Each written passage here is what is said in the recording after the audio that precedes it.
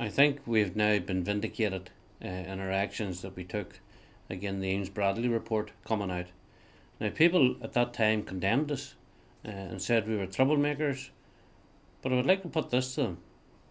If it hadn't been for Fair and some other victims who were down there taking a stand, the Eames Bradley report would have went through. So I hope that's a lesson to people from the innocent victim sector and the unionist sector sometimes you have to stand up and make yourself heard. If you don't, these people will tramp out over the top of you. Now, the other question has to be asked with Eames Bradley.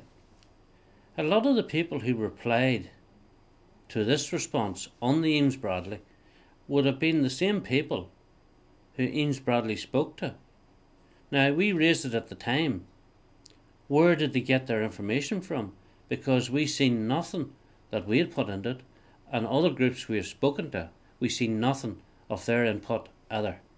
So it is quite obvious that this was a government led uh, document that was all about keeping the Good Friday Agreement propped up, not about the needs of people and how we can move this country on. It was about how some civil servants seen the political way forward, not how the people in this country seen the way forward. And until they start listening to people like ourselves, there will be no way forward because it is us, and they need to get this into their head. It is the ordinary people within the community who have to be able to move on at a speed and time that they're comfortable with. And the sooner they learn that and waking up to that, the better. Instead of throwing millions away at silly projects or throwing millions away to people who are no more interested in the victims than the man in the moon is. Because that's what's going on.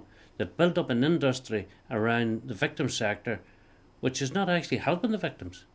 And a matter of fact, the people who are helping the victims are being hindered at every opportunity because we don't stand politically correct. Well, stuff your political correctness. We're only interested in helping the people that need help and moving on at a genuine speed or a genuine uh, environment where people feel comfortable. And unless we do it that way, we will never get moved on anywhere. Now on to Tony Blair. We now realise why Tony Blair did nothing for us over this last number of years. 2006, 2005, 2007, we had been lobbying Blair for a number of years in trying to get him to help us with the Libyan situation. Not only for the victims here in Northern Ireland, but for victims in the rest of the United Kingdom as well. Now, that man ignored us. He ignored British citizens, some of them who had laid down their lives for their queen and country. He ignored them. And a matter of fact, they told us that the case was closed and nothing more could be done about it. And indeed, when we could or were getting help from America, when we went over and spoke to some of the senators and congressmen there who were prepared to help, the one question they said to us was, Well, I, why is your own government not helping? Little did I know at that stage that Tony Blair was obviously uh, doing side deals and business deals while he was still Prime Minister. Thereby, he had to exclude the like of ourselves, UK citizens, from receiving any help. And I can't blame the Americans for saying at that time that uh, if your own government's not prepared to help you, why should we? Thankfully, that changed. But the point has to be made here Mr. Blair, why did you do nothing when you were Prime Minister and in a position to actually help us? You turned your back on us. But now we see you flying out round the Middle East on a regular uh, occasion. We see you meeting people who you always seem to have problems with before uh, you left as Prime Minister. Were you setting yourself up for business before you left as Prime Minister? Is that what was going on? and basically it was stuff the ordinary people who had paid the price with their lives or with their limbs. You didn't care one stuff about them. Well, we're asking you now to answer the question why did you turn your back on the victims? In 2006, and even indeed 2005 and 2007, when you were Prime Minister, you had the opportunity to help us close a deal at that stage, and you turned your back on us. A matter of fact, when we attended the Foreign Office, we were told there is no hope, no hope of this being opened by the British government.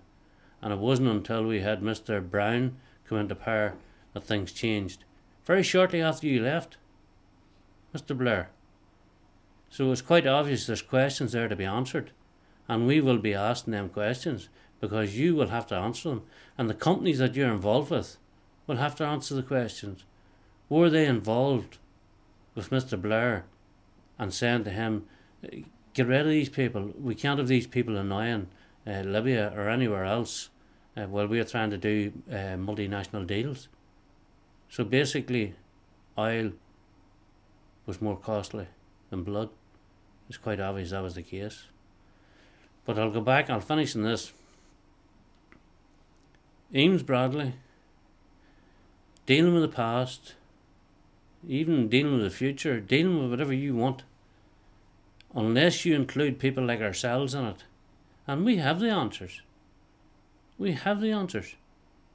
If they would just listen to the ordinary people. And I would say it's the same on both sides of the community. People from the nationalist community and people from the unionist community. And especially the victims, the people who paid the heaviest price of all. And in fact, we don't have a problem with the price we did pay because we still believe in what's right and what's wrong. It's the people who voted for what is wrong that have the problem, and their conscience should be annoying them. Our conscience doesn't annoy us because we still believe in what is right and what is wrong, and what is morally wrong cannot be politically correct.